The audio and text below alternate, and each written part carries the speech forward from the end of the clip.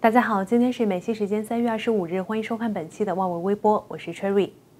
昨日美股上扬百分之十一点三七，创造了一九三三年来单日最高涨幅，似乎是对美国经济恢复表现出相当的期待。美股二十五日早盘持续劲扬，在波音与耐克带头攻坚下，道琼工业指数早盘大涨七百三十六点，涨幅百分之三点五六；标普五百及纳斯达克指数百分之一点五及百分之一点三。不过涨幅很快又缩小，反映出市场信心依然不稳。CNBC 报道，美股早盘强弹。主要是受到美国将推出大规模刺激方案以及前联准会主席伯南克的谈话激励。美国川普政府与国会已经同意了一项规模两万亿美元的刺激计划。伯南克则表示，美国经济可能急剧向下沉沦，但也将迅速从谷底反升。传出恢复生产的波音与发布优于预期财报的耐克早盘分别大涨百分之十八及百分之九点五。在欧股方面，泛欧 Stocks 六百指数在午盘上涨了百分之。零点六，涨势同样已收敛许多。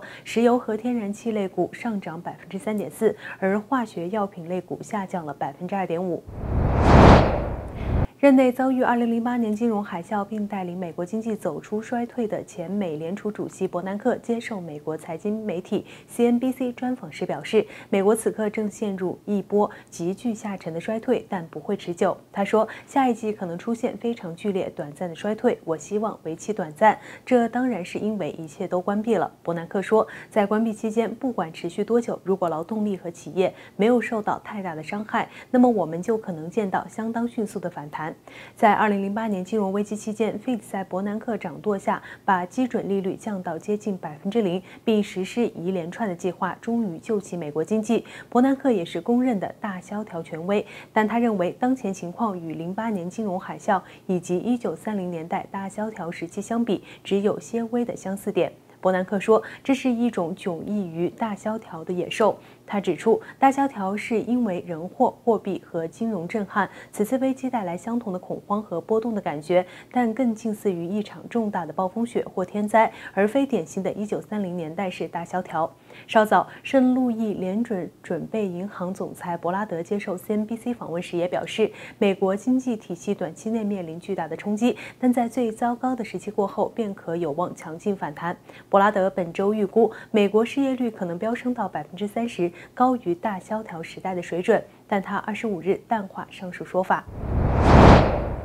规模两兆元的美国紧急经济纾困法案，二十五日凌晨时分获致协议，内容包括直接给民众现金支票。国有电视新闻电视网报道，受到许多暂时失业民众期盼的这笔急用款项，恐怕要等到今年五月才可放出。报道指出，两党议员的协商结果，个人年收入七万五千美元以下的民众，每人可拿到单次发放、直接存入户头或寄发支票的一千二百美金纾困现金；个人年收入超过七万五千美金年薪。可领取金额会依次递减，每增加一百元，可领金额便相对缩水五元。个人年收入超过九万九千美元以上，则完全丧失领取资格。对于夫妻合并报税的家庭来说，领取纾困现金的收入标准与领取金额是个人年收入标准乘以二计算，也就是十五万美元。超过这个数字，可领现金也将递减。夫妻两人可领单次发放的两千四百美元现金支票，十七岁以下的儿童每人可领五百美元。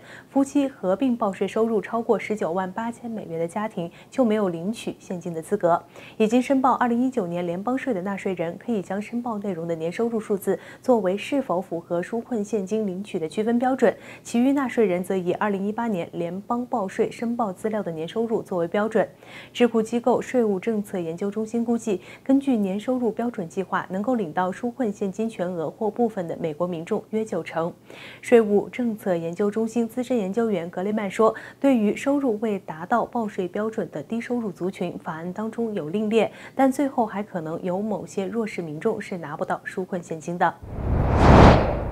华尔街日报的分析显示，在从二月初到上周末，华尔街高层主管的持股出售约九十二亿美元的自家公司持股，让他们免受于承受总额十九亿美元的可能损失。美股标普五百指数自二月十九日攀底高峰后剧烈震荡，截止三月二十日已崩跌约百分之三十。在这段时间，抛售最多股票的主管当属亚马逊执行长贝佐斯，他在两月第一周卖掉了总额三十四亿美元的亚马逊持股，时间点恰逢股价攀。攀顶之前，这让贝佐斯截止三月二十日能避免三点一七亿美元的账面损失。根据最近期可得的监管文件，贝佐斯出售的这批股票相当于他手上亚马逊持股的百分之三。他在二月首周所出售的股票量也几乎接近他在过去十二个月的。总售股量，这项分析并未指出这些华尔街主管是依据任何内部资讯而售股。美股在今年二月创新高，而这些主管通常会在年初时为纳税与预定的交易策略等其他理由卖股票。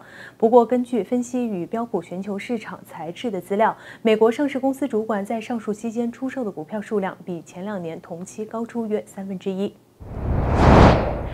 三月二十五日，新西兰总理阿德恩在一次议会讲话中说：“紧急状态是为维持我们的生活方式。”据报道，新西兰将从二十五日十一时五十九分提高全国警戒水平到最高第四级，所有新西兰人都必须自我隔离，人们必须留在家中，所有学校和办公室关闭，非必要的服务必须停止运作，所有室内和室外的活动必须停止。不过，超市、药房、服务站以及基本银行服务将继续营业。阿德恩说，这些措施将持续至少四个星期。二十五日，普京发表电视讲话时表示，他决定让全国人民放假，一整个星期都不用上班。普京同时还宣布延迟举行宪法改革公投。他说：“我认为公投一定要延迟举行。”俄罗斯的宪法公投原定于四月二十二日进行投票。中国三大电讯商上两个月用户急跌的情况受到关注。有线电视财经资讯台上周在脸书专业发帖文，题为“七百万人去哪儿了”，指中国移动上月移动客户减少七百二十五万户。疑问：这么多人去哪儿了？并加标记：不可能全部都转去联通和中国电信了吧？真相只有一个：泄露国家机密等。该贴文刊出后不久便被下架。有线电视还向小编发了警告信。到二十四日，有线执行董事冯德雄召开财经组。全体会议，该名小编当晚被正式解雇。据了解，财经台台长知悉小编被裁后，也向高层请辞。香港苹果日报引述有限执行董事冯德雄指出，今天有一位财经组的同事被解雇，该同事被解雇并非因为报道中国移动客户减少，而是因为在贴文中的标记做出全无事实根据的暗示和臆测，严重偏离有限新闻一直秉持坚守的尊重事实、公平持平原则。事后，该同事不承认处理出错，本台最。后决定做出解雇的决定，当中不设成本考虑，也不知所指政治考虑为何。有限宽频通讯与中国移动香港于二零一八年宣布签订策略合作协议，与电信及媒体资讯增值服务等领域展开跨平台合作。二十四日，美国众议院外交委员会首席共和党成员麦克考众议员致函亚马逊、脸书、谷歌和推特公司的首席执行官，要求他们立即禁止中共媒体机构以及他们的官员使用这些公司的社交平台来散布不实信息。麦克考批评中共的行为严重威胁到古全球公共卫生与国际合作。他说，中共官员和媒体机构正在散布毫无根据的谎言，现在应该把他们的平台撤销。此外，很多中共官员和媒体机构。继续表示，中共的反应为世界赢得了时间，而事实是他们的不作为导致世界上的民众丧生。麦克考在信函中说，中共一直都使用国家资源来恐吓私营企业。中共能够阻止美国的社交媒体进入中国，却能在这些社交媒体上注册经过核实的账户，并用来散布谣言。他批评美国的社交媒体企业没有采取足够的措施来限制中共散播不实信息。麦克考强调说，美国社交媒体现在有必要采取更有力的。联合行动来消除中共媒体机构以及中共官员的账号，确保用户不受中共谣言的影响。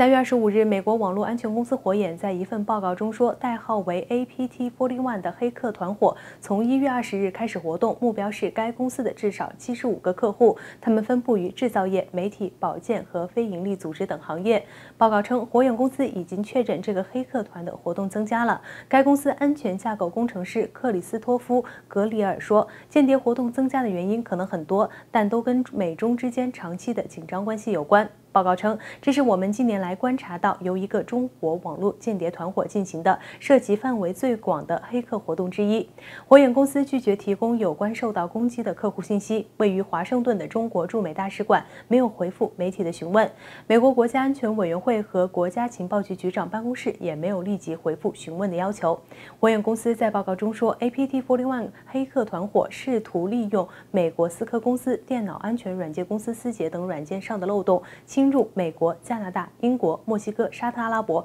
新加坡等几十个国家的数十家公司的网络。思科公司在电邮中说，有关漏洞已经被修复，他知道有人在利用这个漏洞。思杰公司表示，正在与火眼公司合作，确定潜在的漏洞。好了，以上是本期万维微播的全部内容，感谢大家的收看，我是 Cherry。如果您喜欢我们的节目，请点击右下方订阅我们的频道，我们下期节目再见。